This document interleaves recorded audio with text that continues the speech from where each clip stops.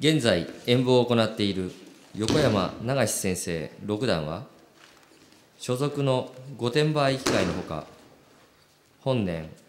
富士吉田合機会を創立創設され責任者として活躍されています。柔らかさの中にも厳しさを忘れずゆったりとした動きの中にも気を抜かず自分の姿勢を崩さず相手と一体になるような動きを目標に稽古に励んでいます。今後も健康に留意し合気道の奥深さを伝えていきたいと思います。とコメントをいただきました。